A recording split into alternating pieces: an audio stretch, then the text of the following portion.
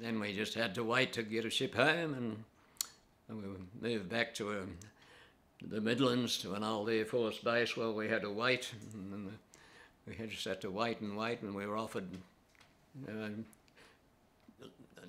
more or less you go off and uh, do whatever you like for a while and take a job part time if you want to, which quite a few did. And uh, so I went down to London where with a couple of guys and uh, we had lunch at the the Boomerang Club in the basement of Australia House, and uh, we were told that they were looking for extras at Ealing Studios for the film Caesar and Cleopatra.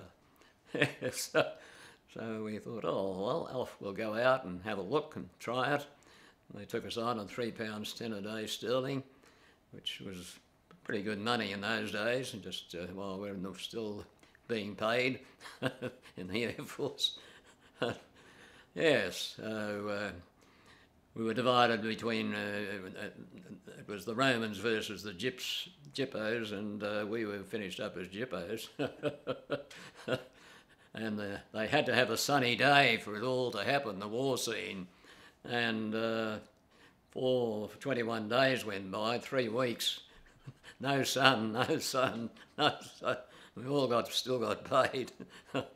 Finally, they had a session in the, the war scene, and uh, it wasn't, uh, it didn't go all that well, I gather. And the producer director, Gabriel Pascal, he, uh, he gave everybody a big serve, I tell you. yeah.